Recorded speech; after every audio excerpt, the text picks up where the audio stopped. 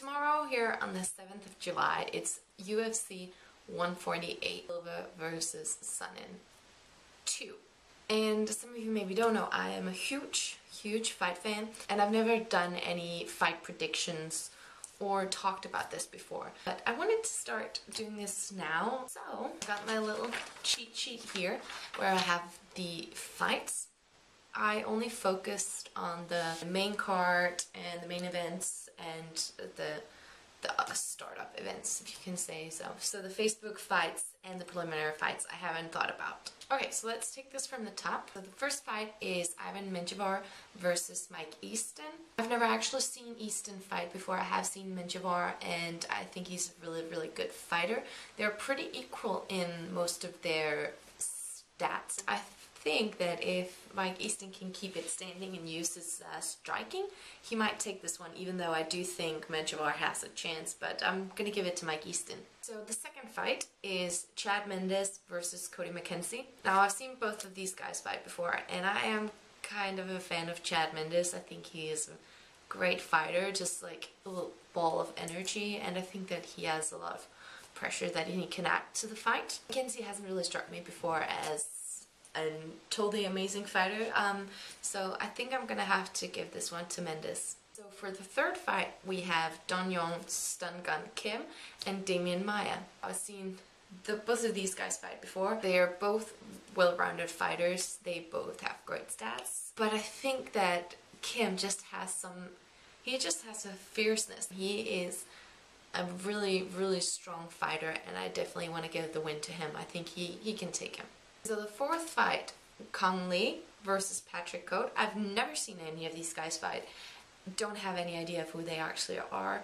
Um, but looking at their stats and the facts about them, I think that Cote maybe has more experience and may is a better well-rounded fighter, so I'm gonna give the win to Patrick Cote. So the co-main event uh, is Forrest Griffin versus Tito Ortiz. They're both really good fighters, seen them both fight before. I do feel sometimes though that with Tito it's a bit hit and miss. Either he's just brilliant in the fight and then other times, you know, there's just one bad punch and then he's out of the game. But Tito has had some serious ground and pound and he's vicious when he finally gets one someone on the ground. So if he can take the, the fight to the ground, he definitely has a chance of winning with that. Um, but I do think that Griffin might have an advantage in the fact that he has, is better at striking and if he catches Tito in the like right on the button, he is gonna take this game. I think the winner it could go both ways, but I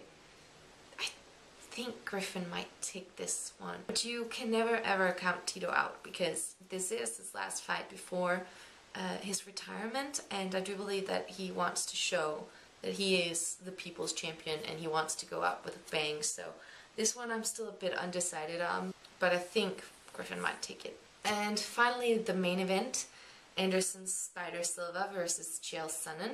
I followed a lot on Twitter and saw the press conference and these guys definitely have a chip on their shoulder. Um, I know that Chael was the only guy that ever really rocked Anderson, and Anderson didn't really know how to handle him. Um, Anderson does have a few better stats. I think he's a more well-rounded fighter. Um, there's been a lot of trash talking between the two, and there is a possibility that Chael got into Anderson's head. I don't think so, though. I think that Anderson knows how to prepare for this fight and he has he knows what he did wrong in the last fight. He knows what he needs to enhance on. He knows what he needs to prepare on. And I do think that he wants this fight more. And he has said a lot of stuff where I'm like he this guy has great amounts of anger towards uh, and I do think that Anderson will definitely take this. I think he is more vicious more fierce. And I think I think he wants it more would not want to fight him if I was Sonnen. I definitely wouldn't. So those were my fight pick for UFC 148. I'm looking forward to watching it and seeing if I'm actually right about any of these because you know it's sports and one clean hit and one of these guys are going to go out and it's probably not going to be the one that I guessed but hopefully I uh, have picked some winners in here. Oh, ow, oh my finger. I think I have a nerve cut. Ah, that hurts. Ow. Ah, I have a boo-boo. Oh. Wow, I could not last in a fight with any of these guys. Ah, sweet Jesus.